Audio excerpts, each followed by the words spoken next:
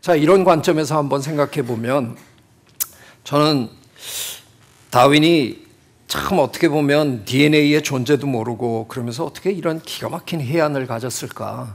다윈은 지금 현존하는 이런 모든 생명체를 보면서 이것들이 결국은 그 옛날 하나로부터 왔을 수밖에 없다라는 걸 논리적으로 유추해낸 사람입니다. 근데 지금 저희가 DNA 연구를 이렇게 해 들어가 보면 다윈이 맞았다는 걸 지금 찾아내고 있습니다. 참 기가 막힌 겁니다. 그래서 이분이 뭐라 그랬냐면 태초에 참 저 간단한 단순한 시작으로부터 그래서 from so simple a beginning 이렇게 시작합니다. 지극히 간단한 거로부터 오늘날 이렇게 어마어마한 그 생명의 파노라마가 만들어졌다. 이걸 한 겁니다. 바로 그런 점에서 저분의 이제 위대함이 있는 건데요. 제가 시간이 허락하는 범위 내에서 다윈 얘기를 조금 드려보겠습니다. 왜냐하면 다윈의 이론을 이해해야 사실은 생명의 그, 그 역사를 이해할 수 있는 거거든요. 비록 우리가 최초의 생명체가 어떻게 탄생했는지는 아직은 명확하게 모르더라도 그때부터 지금까지 어떤 일이 벌어졌느냐 하는 건 좀 알 수 있습니다.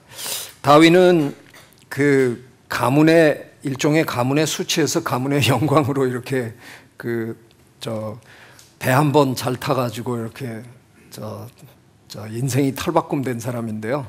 그 아버지가 유명한 의사였는데 영 아들 중에 다윈이 별로 별로 이렇게 탐탁치 않았던 의사 만들라고 학교 보냈더니 또 못하겠다고 저 돌아오고 또 그 신부 만들어 보려고 또 학교 좀 다니라 그랬더니 그건 안 하고 뭐 매일 식물 채집, 곤충 채집이나 하러 돌아다니고 그러다가 어느 날 그 예전에 대영 제국이 만들어진 그 만들어지던 그 시절에 세계를 탐험하는 탐험선에 올라타게 되는 거죠.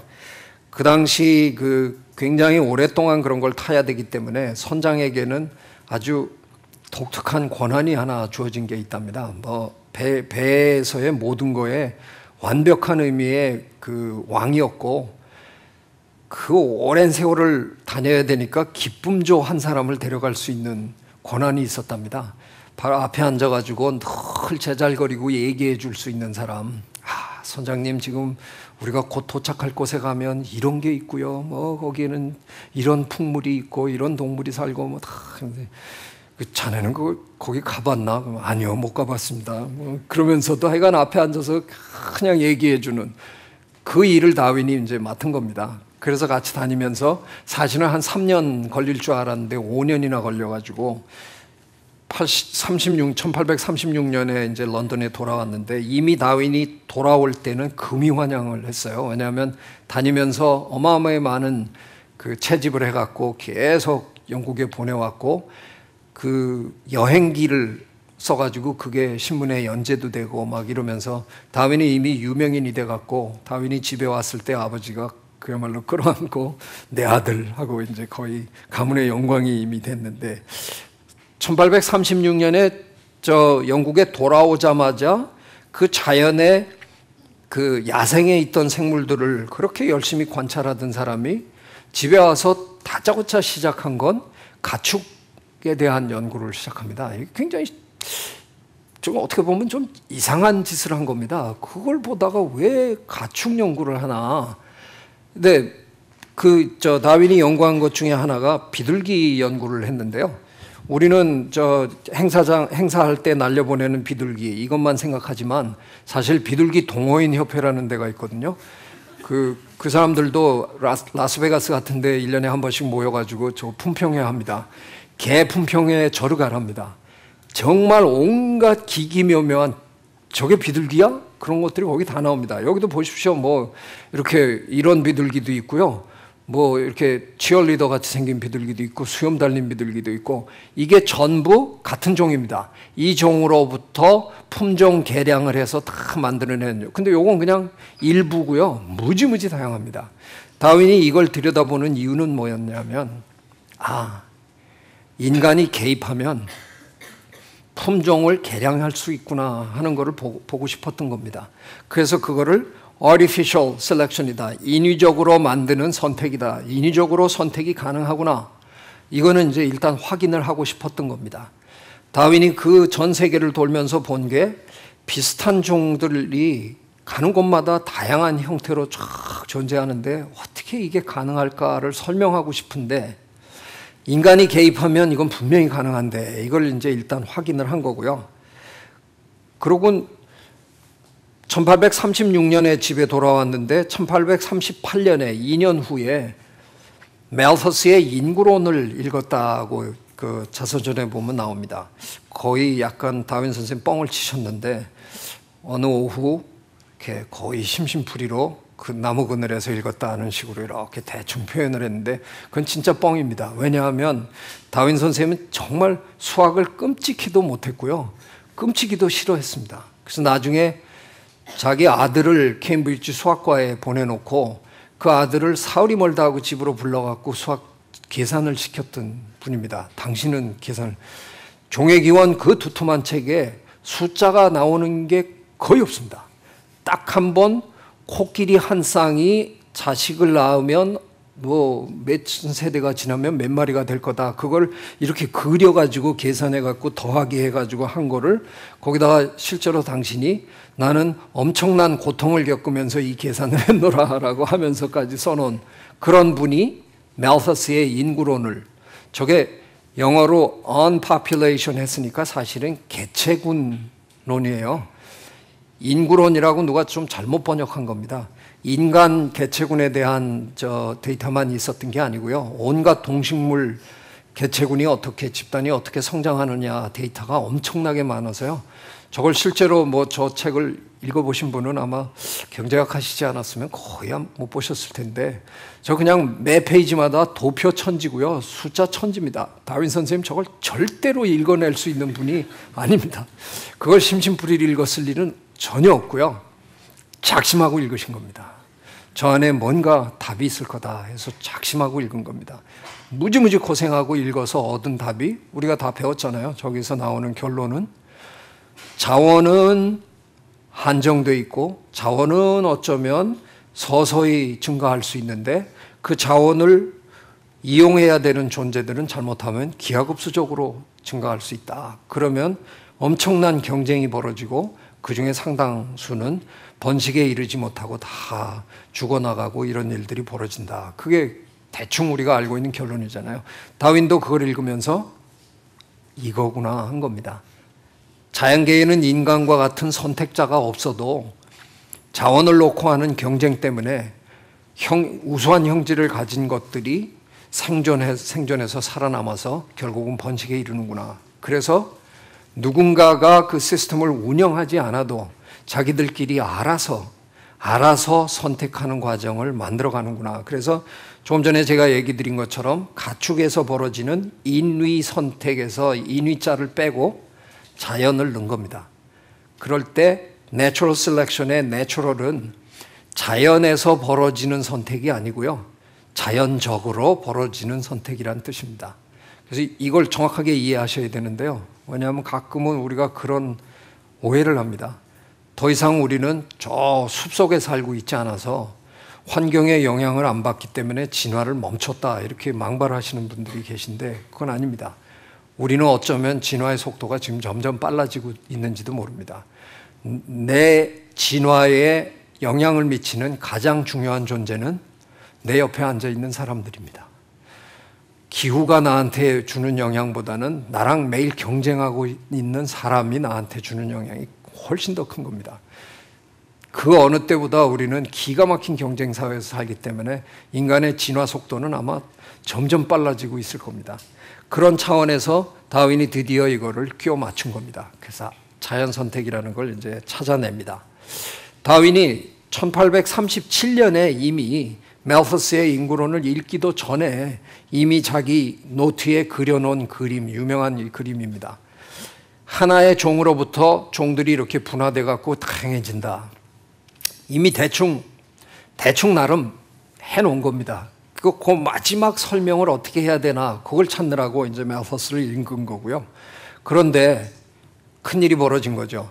1858년에 20년이 20여 년이 지난 어느 날 다윈은 여전히 완벽한 답을 찾기 위해서 열심히 이것저것 이제 조사하고 뭐 이러고 있는데 1858년에 알프레드 월리스라는 젊은 학자가 저 말레이시아 군도를 돌아다니면서 나비도 채집하고 뭐 이러던 학자가 소포를 보내왔는데 그 소포 안에 선생님 제가 쓴 저 에세이인데 읽어봐 주십시오. 그래서 괜찮다고 생각하면 다윈도 존경하고 전양반도 알고 있는 지, 지질학의 아버지라고 불리는 그 찰스 라일 선생님한테 좀 보내주시면 좋겠습니다. 그러면 그 선생님이 어디 저널에 이렇게 실어 주실 겁니다. 이렇게 얘기를 한 겁니다.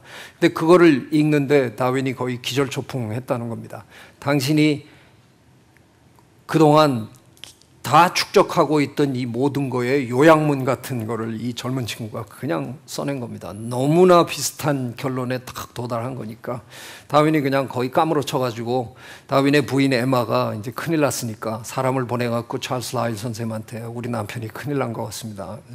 라일이 그냥 헐레벌떡 달려오면서 다윈의 절친인 그 후커라는 식물학자 집에 들려서 자네 나랑 같이 가야 돼. 지금 저 다윈이 큰일 난 모양이다. 와 보니까 뭐 다윈이 넘어져 가지고 이제 뭐 이거 주면서 내 인생은 끝났다 이제 난리를 치는 바람에 찰스 라일하고 그 후커하고 둘이 거기서 희대의 제 생각에는 과학계의 가장 가장 어마어마한 사기극을 이제 만들어냅니다. 거기서 다윈과 월리스를 공동 저자로 한 어, 그 논문을 발표하게 한뭐몇주 만에 린네 학회에서 발표하게 만들고 월리스는 말레이시아에 있으니까 못 올 걸 이미 알고 있는 거고요. 다윈은 저 워낙 수줍음이 많은 사람이라서 안 나가고 누군가가 대독을 하는 걸로 하고 과학계에서는 제1저자가 되는 게 굉장히 중요한 일입니다. 그래서 다윈을 제1저자로 만들기 위해서 다윈이 몇 년 전에 하버드 대학에 있는 식물학자 에이사 그레이한테 보냈던 편지 와 친구 후커에게 가끔 가다가 설명했던 끄적였던 그걸 섞어가지고 후커가 빨리 하나를 만들어가지고 그 에세이와 월리스의 에세이를 붙여가지고 같이 발표하는 걸로 해서 발표를 시킵니다. 그리고 찰스 라일이 월리스한테 편지를 보냅니다. 이러이러해서 아, 자네가 보낸 에세이 참 잘 받았다. 그런데 다윈 선생이 그동안 벌써 이런 일을 많이 했지 않은가. 그 또 공교롭게 다현 선생님 준비해 놓은 게 있어서 너 당신 둘을 같이 내가 발표시키기로 했네. 이게 사실 말이 안 되는 거죠. 월리스가 먼저 쓴 겁니다. 근데 뭐 월리스는 자기는 다윈 선생님과 함께 발표된다는 게 너무나 영광스럽습니다. 그리고 아주 아주 우아하게 그걸 받아들이는 바람에 그냥 별일 없이 이제 지나간 겁니다. 그 후에 다윈이 월리스한테 답장 편지를 쓴 걸 읽어보면 아주 절묘합니다. 그 월리스가 문제 제기 안 한 거에 대해서 다윈이 너무 고마워하는 게 톡까놓고 얘기는 안 하면서 아주 고마워한 그게 아주 이렇게 읽어보면 절묘하게 드러나는 그런 편지가 이제 날아갑니다.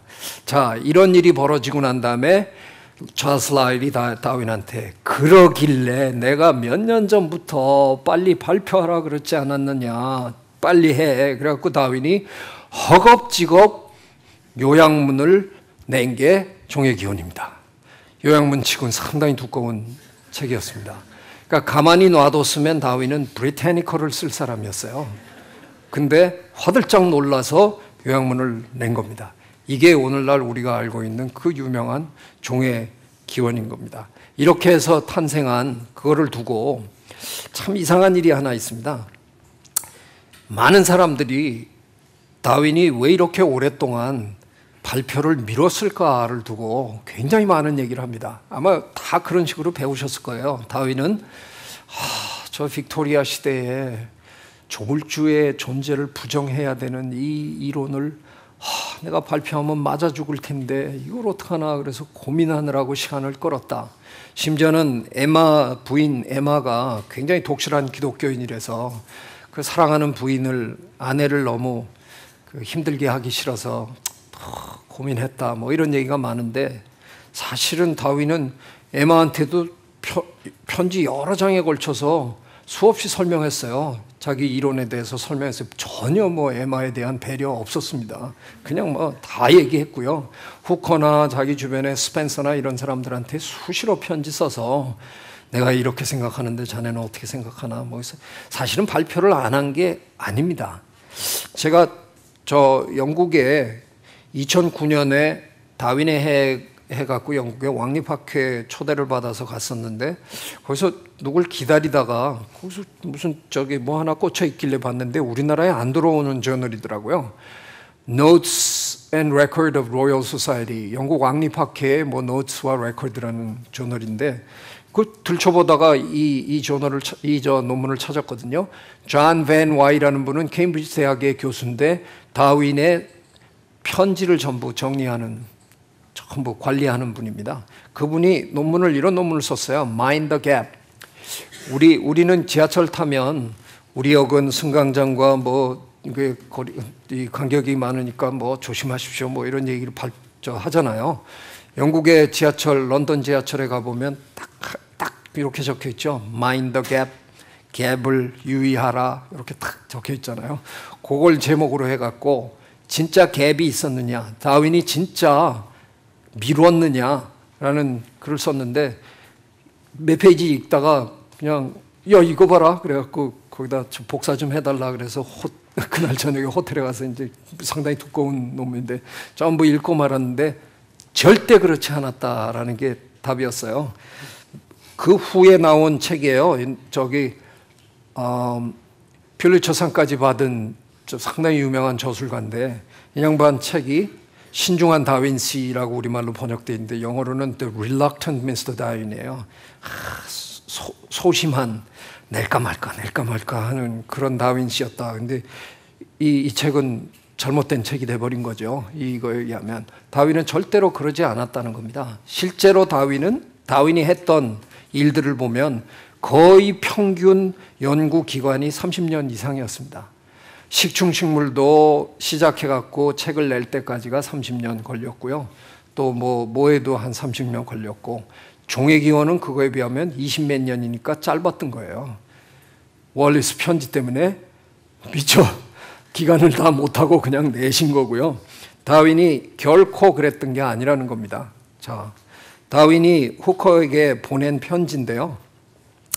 후커한테 뭐라 그러냐면 종이 불변의 존재가 아니라는 걸 난 이미 이제는 알았다. 1844년인데요. 하, 이게 얼마나 짜릿하냐 하면 내가 마치 살인을 고백하는 것 같은 느낌이다. 근데 이거를 심리학자들이 어떻게 어떻게 이, 저 해석을 했냐면 다윈이 살인을 했다. 거의 이건 학문적인 살인을 하고 아, 고백하려니까 나 정말 미치겠다 이렇게 얘기했다는 겁니다. 근데 사실은 문맥을 잘 읽어보면 그게 아니라 짜릿하다라는 뜻으로 그냥 한 얘기입니다. 거기다가 한술 더 떠서 다윈 언맨이라는 걸 쓴 저 그루버라는 심리학자는 다윈이 겪었던 이런 것들을 피아제나 그저 그 프로이드 스타일의 걸로 전부 분석을 해갖고 다윈은 평생 가위에 눌려 산 사람으로 표현을 해요.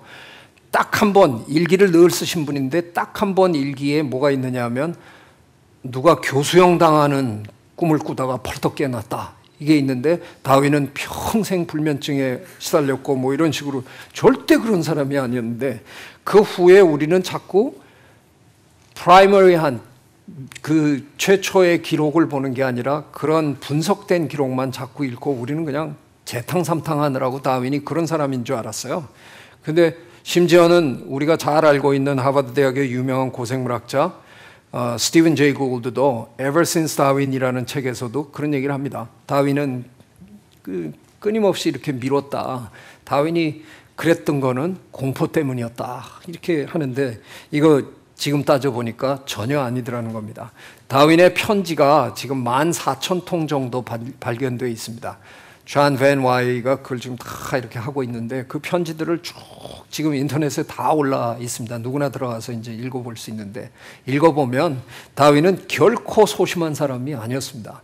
세상 모든 사람과 교류했고요. 세상 모든 사람 다 부려먹었고 자기의 이론을 이거 하기 위해서 세상 모든 사람의 걸 다 끌어당겨서 만들고 뭐 건강에 문제가 있어서 헐 수 없이 시골에 간 사람이지 결코 숨어 살라고 간 사람이 아니었습니다. 동네 대소사에도 일일이 간섭하던 아주 대단한 호, 웃음도 호탕했던 아주 그런 사람이었는데 우리가 그동안 다윈을 은둔자처럼 잘못 이해한 겁니다. 제가 이게 제 그래픽 디자인 솜씨로 만든 건데요. 예, 잘 만들었죠?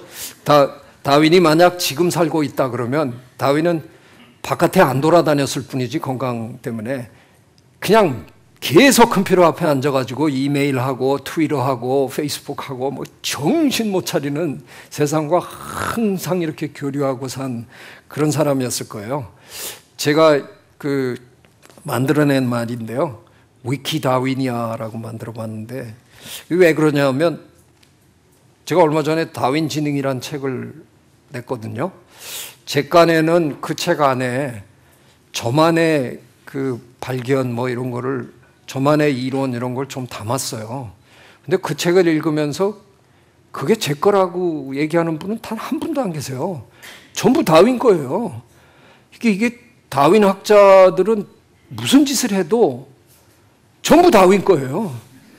다윈이 만들어 놓은 틀에 그냥 갖다 바치는 다윈은 생전에도 식구도 다 부려먹은 딸 중에는 평생 결혼도 안 하고 다윈 비서 역할을 한 딸도 있고요. 그러니까 다윈 일종의 인더스트리였어요. 다윈을 중심으로 해서 온 가족이 다 이렇게 보좌했고 온갖 사람 다 부려먹었고요. 남아공에 사는 사람한테 내가 갈 수 없으니 따개비를 종마다 100개씩 채집해서 나한테 보내주면 근데 그걸 또 다 보내줘요. 그 다음 편지 읽어보면 하, 자네가 과학에 기여했네 뭐 이러고 또 그러니까 이걸로 그냥 온갖 사람을 다 부려먹었는데 아, 돌아가셔서도 지금 우리를 다 부려먹고 계시는 거예요. 그래서 이게 거의 뭐 우리는 하는 모든 일이 완전히 위키피디아처럼 다윈 선생님을 위해서 우리는 그냥 다 이렇게 갖다 바치고 있는 전 그 모습이다. 전형적인 통섭학자입니다. 다윈은 경계라는 게 전혀 없었어요. 당신이 모르는 분야 뭐 이런 거를 조금도 두려워하지 않고 필요하면 누구든 농부도 농부에게도 편지를 보냈고 물리학자한테 편지를 보내고 수학자한테 편지를 보내고 그러니까 모든 지식을 다 자기가 흡수해 가지고 이론을 만들어 가던 아주 그런 분입니다.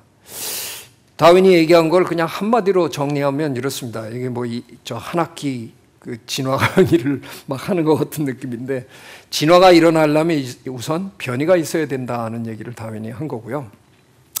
아무런 변이가 없는데 암만 선택해봐야 변화가 일어날 리 없는 거죠. 근데 다행히 자연계에는 변이는 많습니다. 한 종내에 굉장한 변이가 있어서 이들 간에 재조합을 하면 어마어마한 새로운 변화를 일으킬 수 있는 거죠. 그 변이가 유전해야 된다는 겁니다. 우리가 그냥 저 그 헤어드레서한테 저 가가지고 이렇게 머리 염색한 금발 딸을 낳고 싶어서 금발로 물감 들이고 잠자리를 같이 한다고 해서 금발 애가 나오는 건 절대로 아니잖아요. 유전되는 형질이어야 된다는 거고요. 다윈이 메어서스한테 배운 게 이겁니다. 생존 경쟁 차원이 있다는 거죠. 누구나 많이 태어나지만 상당수가 생존 경쟁에서 탈락하고 번식에 이르는 개체는 극소수다 하는 거고요.